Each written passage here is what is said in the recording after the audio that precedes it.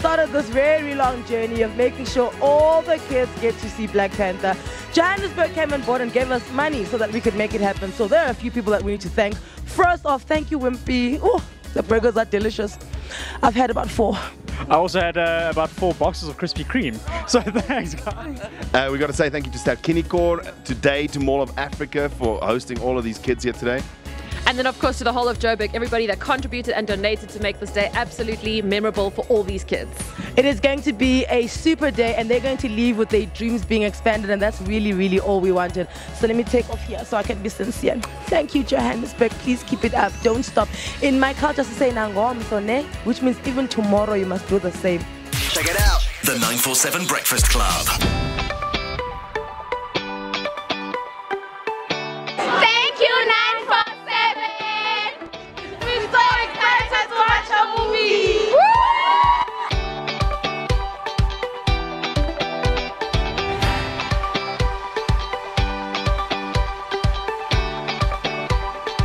The whole reason why Legrand wanted to get involved was because um, we are very proactive about our CSR initiatives, and this was a chance to help the community and underprivileged children.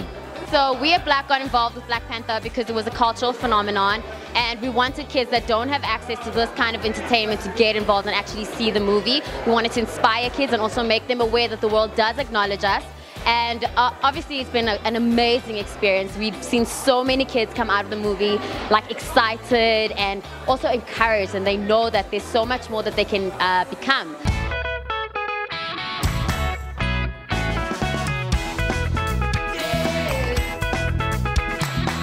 It's the greatest movie I've ever seen.